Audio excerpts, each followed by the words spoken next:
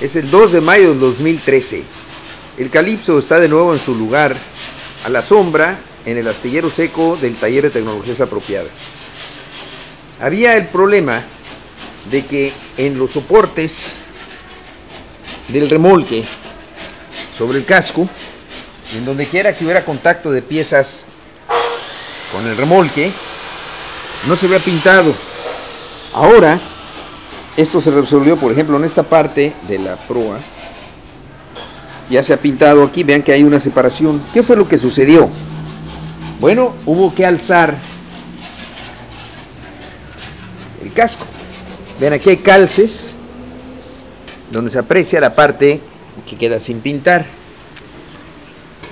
Para alzar al calipso se utilizó la grúa armada por el ingeniero, diseñada y construida por el ingeniero Gamboa Rocha, que está sosteniéndolo a través de estos hinchos,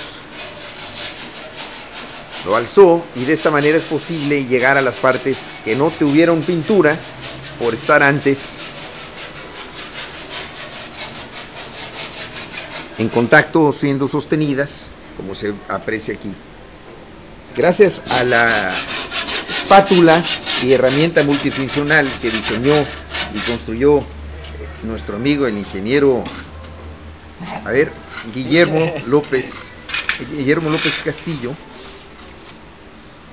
eh, es posible llegar a parte donde no se ¿Recuerdan ustedes la herramienta multifuncional que él de broma le dice matazombies? Eso es lo que se ha hecho. También se utilizó para distribuirle el peso un gato, el gato del jeep. El gato del jeep.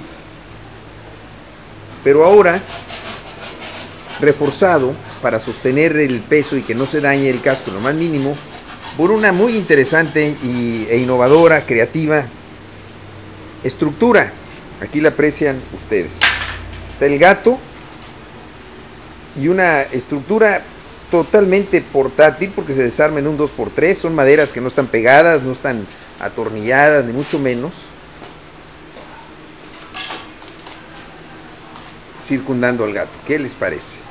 Creatividad e inventiva de este par de ingenieros.